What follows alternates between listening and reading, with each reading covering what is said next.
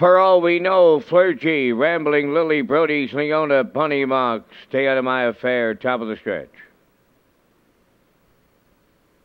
Thursday night feature, open mares, post time. There they go. They're off and pacing. Rambling Lily will leave out tonight. Second for all we know. Third into the turn. That's Flurgy. Away fourth. Brody's Leona. Bunny Mock is fifth. The trailer. Stay out of my affair. So they settle into rail pylon positions early.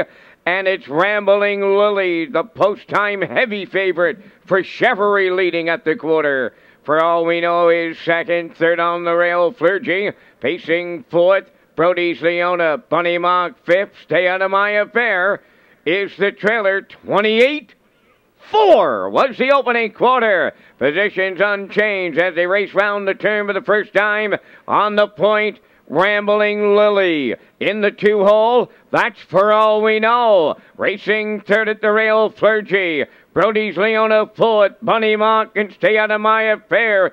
Not a move half a mile down, half a mile to go. Rambling Lily fronting the field for all we know second. Third on the rail, Flurgy. 58 and 3 was the half. Fourth going to the 5-8, Brody's Leona.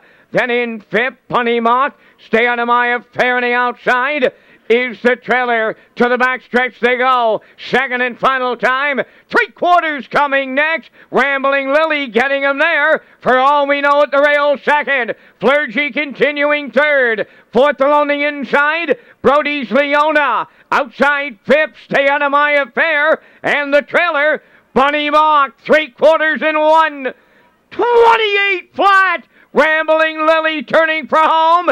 For all we know, her. Flurgy up the rail third. Brody's Leona fourth. Deep in the stretch now. Rambling Lily. Give her five in a row. Second for all we know. Brody's Leona third. One. 56 and four.